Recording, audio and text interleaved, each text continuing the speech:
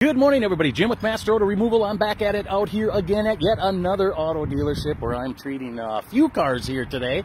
And it's absolutely beautiful and gorgeous out. It's about 50, 51 degrees right now.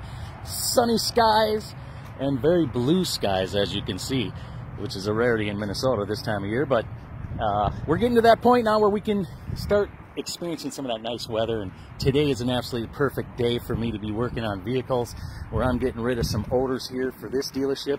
I've got this Yukon. Uh, it's absolutely gorgeous inside here. It's already been detailed. Everything's been cleaned in here.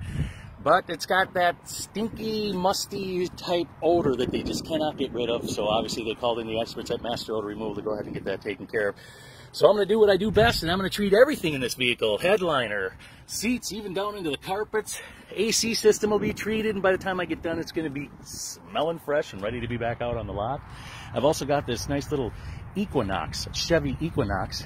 This one came in on a trade-in the former owner was some type of a chemical engineer, and there's a uh, kind of a hard odor to try to explain. It's kind of a chemically, sour chemically smell in here. They want it gone. Obviously, they want it gone because they're going to put this back out on the lot to go ahead and get it ready for sale. So we can't have it stinking like that. So I'll have it cleaning. I'll have it uh, smelling nice and fresh by the time I get done. Uh, this vehicle here, this nice looking Mercedes uh, is owned by one of the sales reps on the car lot. And as long as I was here, he said, "Hey, can you hit my vehicle?" I said, "Absolutely." Uh, this one here's he's been uh, he's had an ionizer in this for quite some time. You know, he keeps putting an ionizer in here, and as we all know, all that does is treat the ambient air around. It doesn't get into the leathers and the carpets and everywhere where it needs to, where them odors trap themselves. So I'm going to go ahead and treat this vehicle for him, get it all nice and fresh smelling so that he can enjoy his vehicle without that pesty odor.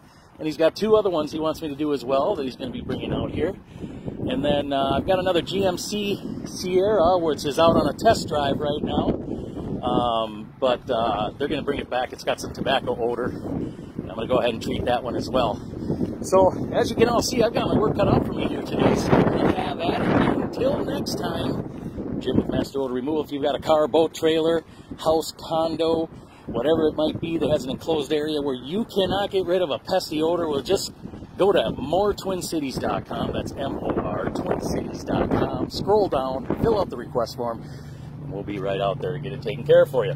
Until next time, bye now.